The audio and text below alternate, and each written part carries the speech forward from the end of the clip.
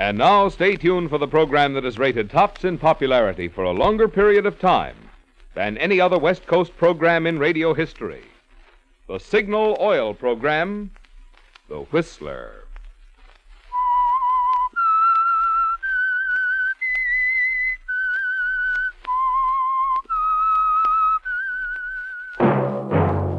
Signal, the famous Go Farther gasoline, invites you to sit back and enjoy another strange story by The Whistler.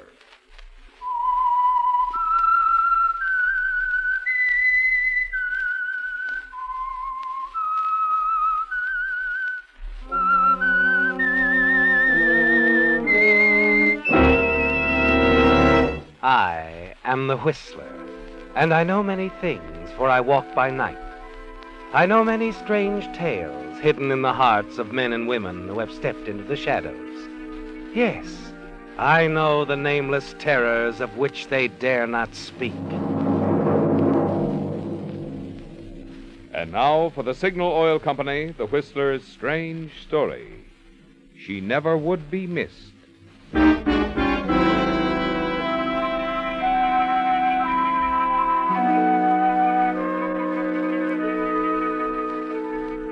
Mona had determined that her parting from her husband, Gerald Stanton, was to be gay, and, as she put it, civilized. There were to be no tears to mar Mona's beauty, no tiresome recriminations. Best of all, Gerald had understood her perfectly. He had seemed to realize at once why she preferred Vincent, why the divorce was so very necessary to her.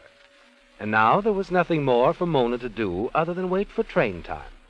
Check on the few last minute details with her maid. Oh, Lucille, did the man come for my luggage? He just left, madame. You made it clear that I wanted to arrive in Reno the same time I do. Yes, and I phoned for a cab. It will be right here. Oh, you're an angel, Lucille. You've been so good through all this.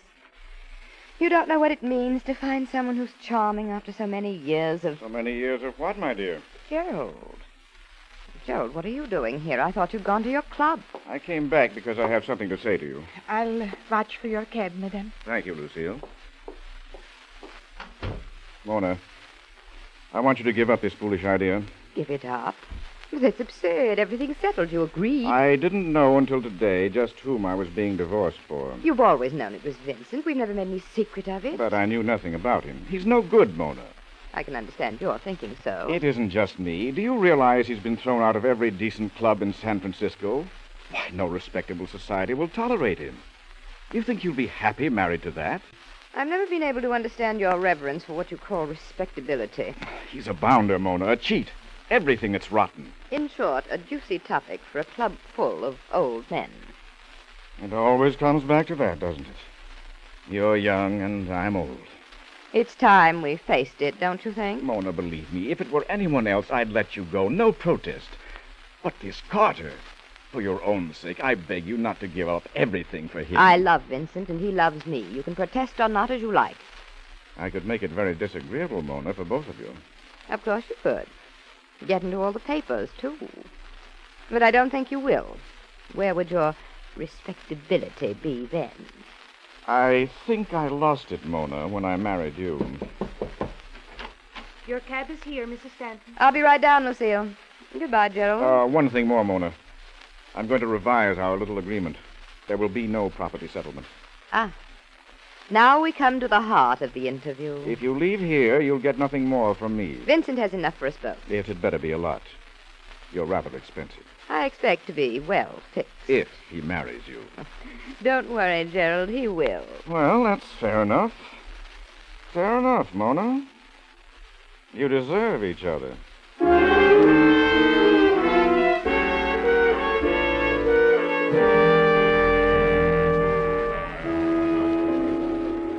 Car number 32, right here. Thank you. Say goodbye to me now, Vincent. I can't bear these prolonged farewells. Darling, here's something to remember me by. What is it? Open it and see. Vincent, what a perfectly stunning ring. Oh, you like it? It's been in the family for ages. Oh, Vincent, I do love you so. Wire me when it's over, and I'll meet you here at the station. Oh, no, darling, not at the station. I want to look my very best when I see you. Can't we make How about where we always meet? Pietro's for lunch. One o'clock the day you get back. wonderful? And you'd better be wearing that ring. You'll see me flashing blocks away. Oh, there it is, darling. I've got to run. Goodbye, Angel. I'll be living for our lunch at Pietro's, darling.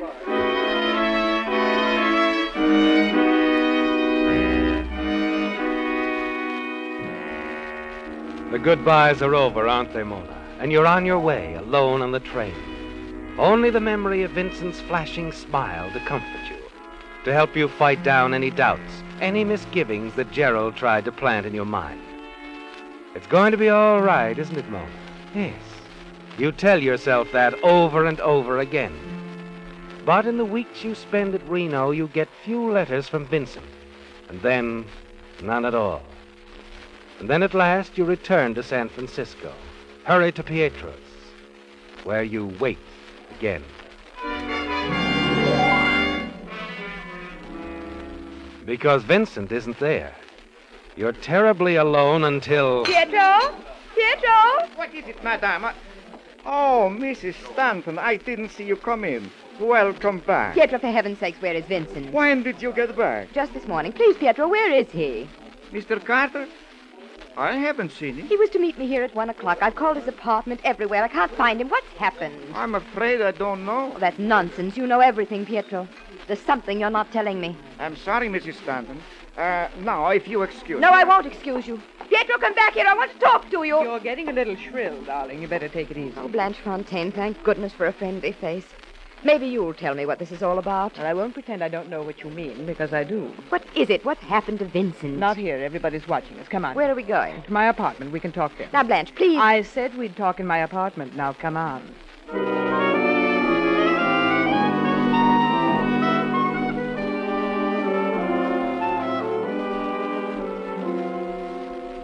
I know how you feel, Mona, but a lot can happen in six weeks, and, well, it has. Oh, I can't believe it, Blanche. Who is this other woman? Alice Phillips. Alice. Do you mean Vincent has thrown me over for that washed out society bud? I'll admit she is a pale one, but her family, my dear. Main line, old guard, and oh, so respectable. Respectable. Oh, this is too much. Well, it shouldn't surprise you. Vincent's always been a perfect sucker for that sort of thing. But he can't. He's going to marry me. I have his ring. Darling, what's a ring when he can marry a Phillips? This is the top for him. Big stuff. He'll never let that go. I think you're cruel to say things like that. I face facts, Mona, and so must you. Now forget it. Go away for a while. Pull yourself together. Exit gracefully, you mean? You can go up to my lodge if you like. You'll be alone there, miles from everywhere. It'll give you time to get hold of yourself. Vincent loves me. I've given up everything for him. Husband, money, everything. I'll find him and talk to him. He'll say it isn't true. All right, darling, have it your way. I will. You'll see.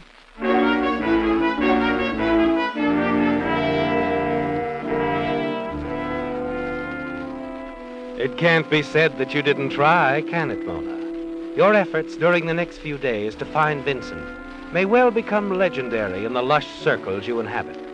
You phone his apartment, his friends, all the possible nightclubs, but he's never there. You write him notes and long, pleading letters, but they remain unanswered. And still you refuse to accept the obvious. Finally, one afternoon at the cocktail hour, you catch him at Pietro's. He's as handsome as ever, but you're forced to see that things aren't the same now. Vincent has changed. Yes, I heard you were trying to reach me, Mona, but I really wish you wouldn't. It's rather awkward under the circumstances. Vincent, what are the circumstances? Oh, we know each other too well to pretend ignorance. Then it is true. Alice Phillips. Vincent, you can't do this to me. Well, nobody's done anything, Mona. It simply happened. And so I'm to be brushed off just like that. We should be grateful we found out before it was too late. Great. Do you realize what I've lost on your account? Well, that was your doing, Mona, not mine. Oh, you're contemptible. Just honest. Vincent, you don't love her. You couldn't. You love me.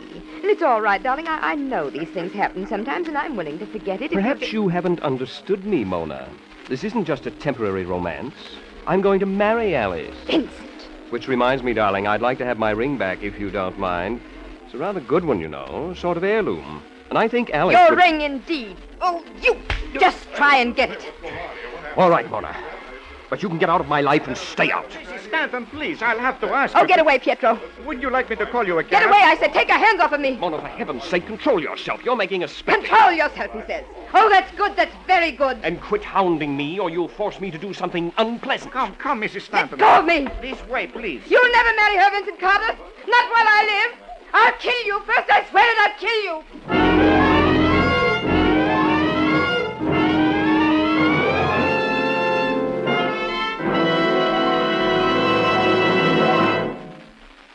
Next weekend, before you start off on your Labor Day trip, wouldn't it add a lot to your peace of mind to know that no matter how hard you may drive, no matter how high the thermometer may soar, your motor is protected by an oil that won't break down under heat, an oil that won't let unnecessary wear rob your car of its pep and power and turn it into an oil eater?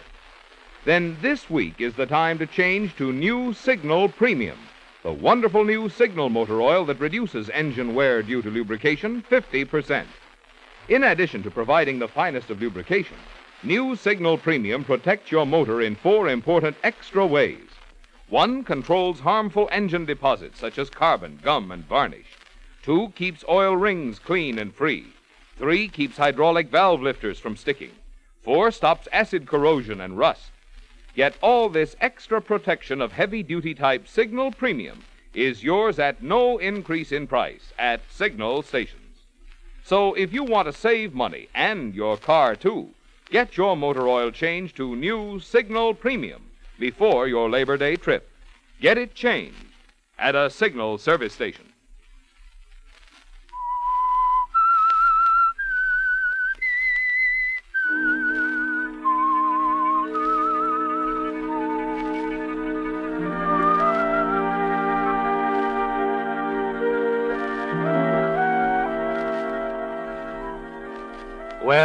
You sensed it for weeks that something was wrong. That Vincent Carter had changed his mind about you after you've divorced your husband to marry him. And now, meeting him face to face, you've heard from his own lips that he intended to marry someone else, Alice Phillips. And your own words, angry, excited words, run through your mind to mock and torture you. Your threat to kill him. Yet you've been able to do nothing, nothing at all, except run to your friend, Blanche Fontaine, and pour out your heart. Oh, Blanche, it was so humiliating. And on top of that, to be thrown out. What am I going to do? I've told you, Mona. Go away somewhere by yourself and get over it. Go up to my lodge, darling. I'm running over to London for a few weeks. I shan't be using it. I've lost everything because of him. How could he do this to me? Why not? He's done it to every woman he's ever known. I wish I could hurt him as he's hurt me. You can't. It doesn't work that way with Vincent. When he's through, he's through. And like the old song, they never would be missed. They never would be missed. Here now. In case you decide to be sensible, here are my keys to the lodge. You'll be alone there. It's miles from everywhere. Nobody has to know anything about it. Oh, you're very kind, Blanche. No phone, nothing. It'll be good for you. The larder's well stocked, you'll make out. I'll make out better right here. I'm leaving tomorrow, so if you decide to use the lodge, go on up. Just stay as long as you like. Blanche, if you think I'm just going to leave town quietly and sneak up to your lodge and let Vincent Carter That's get. the sensible thing to do, and you should begin to use your head. I'll use my head. But I won't use your lodge. Eh? Suit yourself. But in case you change your mind, I'll leave you the keys. Goodbye, darling. I'll call you as soon as I'm back. Have a nice trip, Blanche. Oh, Vincent, you fool. Well, here's one who's going to be missed.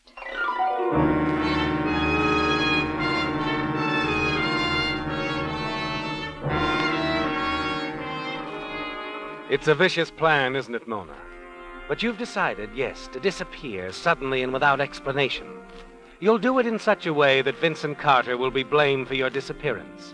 You're certain that the publicity, the suspicions in his direction will cause the ultra respectable Alice Phillips to break off her engagement to him. And once that happens, you're certain you can win him back.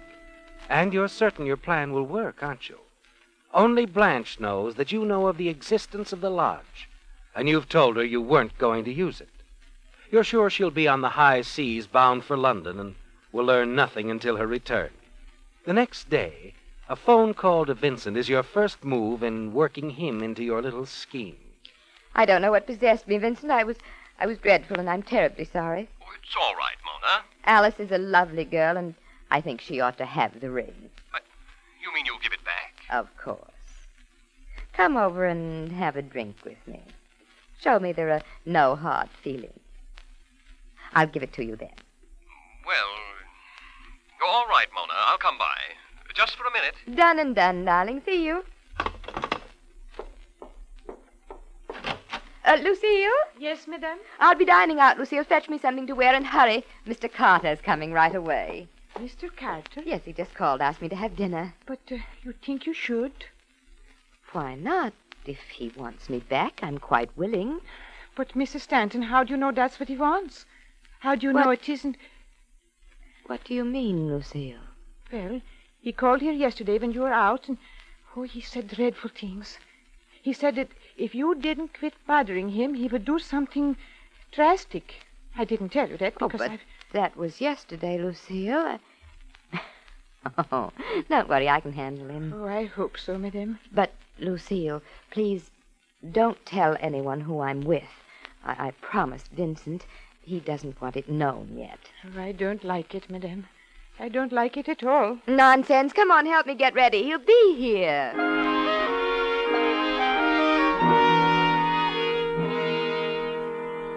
You've been very decent, Mona.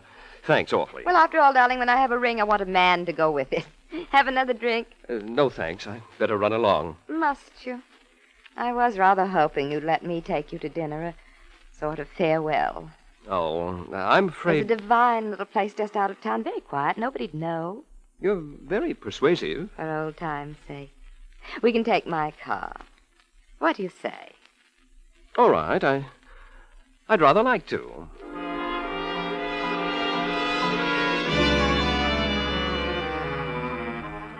It's all so easy, isn't it, Mona? You go downstairs with him. Make sure the doorman sees you drive off together in your car.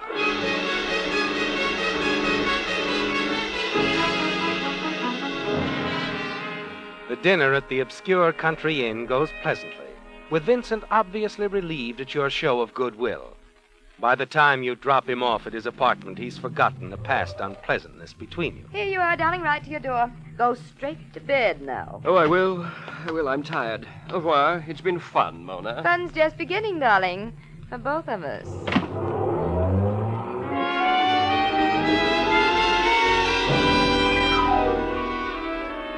Now, Mona, the easy four hour drive to the lodge, where you run your car out of sight behind some trees.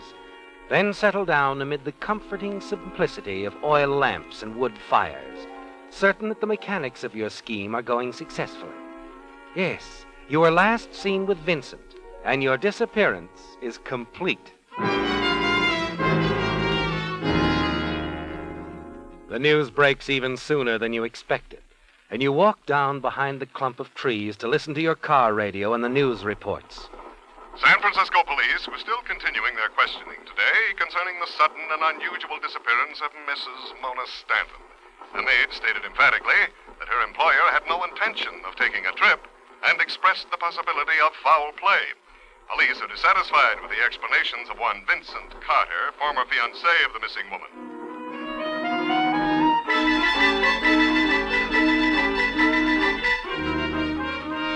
It's perfect, isn't it, Mona? And the following day, the reports are even more exciting. Until finally, the one thing you most wanted to hear. In the case of Mrs. Mona Stanton, missing for the past five days, socialite Alice Phillips flew to Santa Barbara tonight, accompanied by her mother. Sources close to Miss Phillips indicate that she has broken her engagement to Vincent Carter, material witness and principal suspect in the mysterious Stanton disappearance. And now for some other coast news. so she wouldn't stick by you, Vincent, eh? Too respectable. You've won, haven't you, Mona? You tell yourself over and over again you've won. Vincent has been humbled, Alice driven away. You can return to him now, take him back on your own terms. And then, as you finish packing for the trip back to the city and close your suitcase, you hear a car approaching the lodge. Only one person knows you're here, Mona. Just one. Blanche. It has to be Blanche. She's bringing the police. I've got to get out of here. It's all clear to you, isn't it, Mona? Blanche must have heard of your disappearance before she embarked for London, changed her plans, and hurried back to San Francisco to investigate. You've got to hurry and get away. You race for the rear door to the cabin, and a lamp crashes to the floor. As you swing the door wide open, Mona. But you're not stopping for anything like that now. No. You race to the clump of trees in your car. Your only chance to get away without being seen is the old river road. You noticed it while walking one day. Now it's got to provide your escape. Your heart pounds as you release the brake. Let your car coast silently down this back road. A mile from the lodge, you risk starting the engine.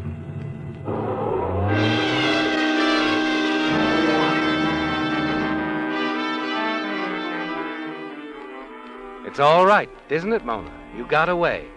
Then, exactly four hours later, you're walking in on Vincent at his apartment. Mona, Had enough, Vincent, darling. I could disappear again, you know. uh, come in. Come in, Mona. Ready to listen to reason, I take it. Mm, it's close in here, darling. Untidy, too. But you don't look too dapper yourself. What do you mean, Mona? What do I mean? You asked me up, didn't you? You've had your fun. Why bother to come back at all? I want a husband, darling, and security. I want you. Security. You don't have to lock the door. I shan't run away so long as you're reasonable. That's right, Mona. You won't run away. Ever. Vincent, what are you doing? You had your little joke. Now I'll have mine. Oh, come now, darling. Put it down. You don't deserve to live. I said put the gun down, Vincent. Keep away. Come on, give it to me. Let go, Mona. Let go, I say. Why, you little. High heels can be rather painful, can't they, Vincent? Now our places are reversed. You're the one who doesn't deserve to live. Well, I, I, I was only trying to scare you, Mona. I, I wouldn't have killed Then you. you shouldn't have let go of the gun when I kicked you, because I am going to kill you. No, no, please, Mona. Wait a minute. Why should I? After wrecking my life and tossing me aside as if I were a casual pickup, you were going to kill me. I'm just turning the tables on you, that's all.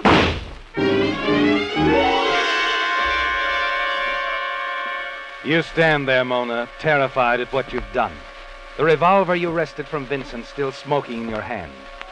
Then, as the paralysis of shock subsides, you begin to realize your own danger. You've killed a man, Mona, and your feelings about him are well known. It comes back to you in your own words, shouted publicly that day at Pietro's. You'll never marry her, Vincent Carter. I'll kill you first. And now you have killed him, haven't you, Mona? And who's going to believe that you didn't intend to? Suddenly you lean down, quickly press the gun into Vincent's hand, smooth over the evidence of the struggle, and slip out of the apartment.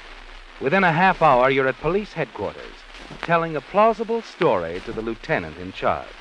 You see, Lieutenant, I'd gone up to the lodge for a complete rest, so I hadn't even heard a radio until a few hours ago. I happened to turn on the six o'clock news, and its appearance, well, naturally, I came back at once. I see. I'm afraid it's been a pretty serious mistake all around. Oh, yes, dreadful. We'll have to let Vincent know immediately. I, uh, I'm afraid it's too late, Mrs. Fenn. What?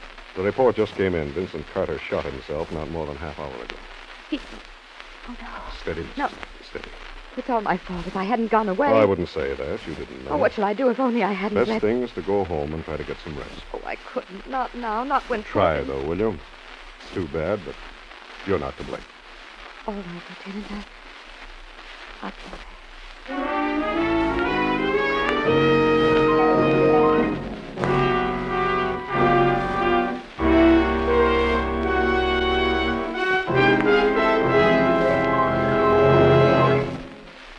Next weekend, when you start off on your Labor Day trip, it'll be mighty handy to have a good map in your car. And there's no map handier than the free ones you'll find at Signal service stations. No need to squint to find where you're going on a Signal map. They're jumbo size for quick, easy reading. And no need to wrestle with them, getting them open or folded again. Signal maps have the latest accordion fold for more convenient handling. But that's only the beginning. In addition, Signal Maps contain a guide to interesting places to visit, plus a traveler's radio guide so you can follow your favorite programs as you travel, plus enlarged sections of metropolitan areas. And if you happen to need a street map to guide you in the larger cities of the Pacific Coast states, Signal stations have them free too. In fact, whether you need a free map, some helpful advice, or just a tank full of the famous Go Farther gasoline, you'll find that friendly, independently operated signal stations have just about everything it takes to make your driving over Labor Day or any day more pleasant.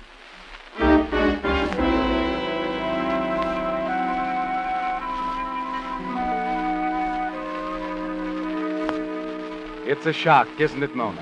Your disappearing act had unexpected results. Vincent is dead now. Dead, the police believe, by his own hand.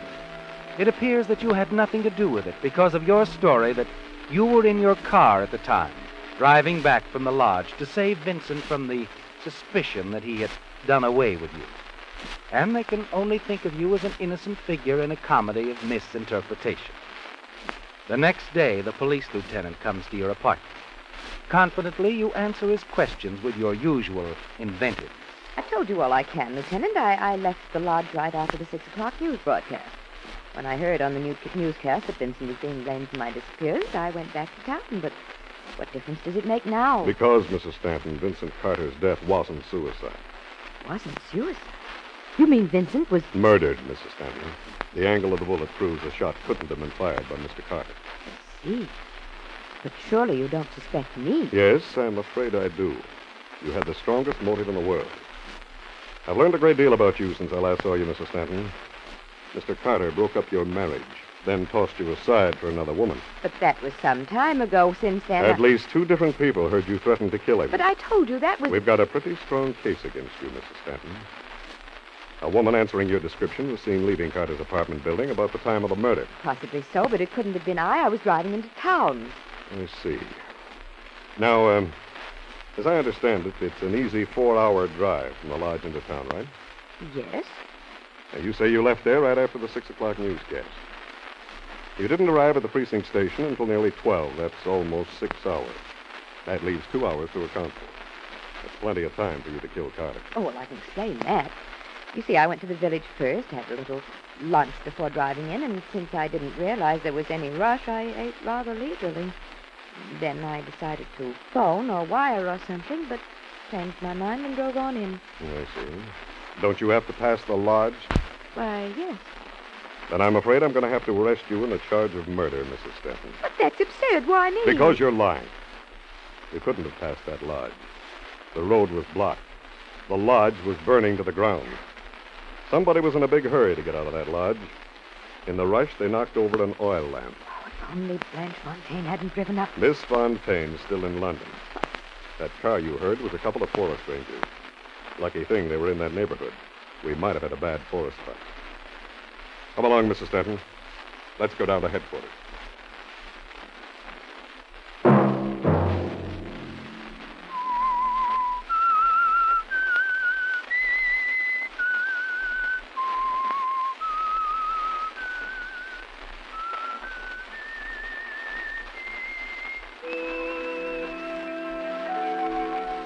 Let that whistle be your signal for the Signal Oil program, The Whistler, each Sunday night at this same time. Signal Oil Company has asked me to remind you that starting next Friday, heavy holiday bound Labor Day traffic will make it even more important to drive at sensible speeds, be courteous, and obey traffic regulations.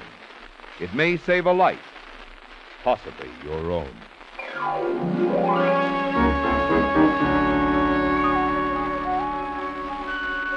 Featured in tonight's story were Bill Forman, Alice Reinheart, Les Tremayne, Joe Gilbert, Ted Von Eltz, and Bill Boucher. The Whistler was produced and directed by George W. Allen, with story by William Engvik and Cleo Davis, music by Wilbur Hatch, and was transmitted overseas by the Armed Forces Radio Service. The Whistler is entirely fictional, and all characters portrayed on The Whistler are also fictional. Any similarity of names or resemblance to persons living or dead is purely coincidental. Remember to tune in at this same time next Sunday when the Signal Oil Company will bring you another strange story by The Whistler. Marvin Miller speaking for the Signal Oil Company. Stay tuned now for the Horace Heidt Show, which follows immediately over most of these stations. This is the CBS Radio Network.